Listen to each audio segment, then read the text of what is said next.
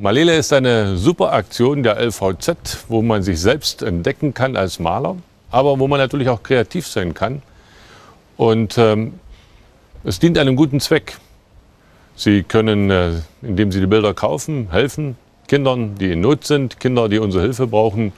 Und deswegen malen Sie nicht nur mit, sondern kaufen Sie und damit tun Sie sich und den Kindern etwas Gutes.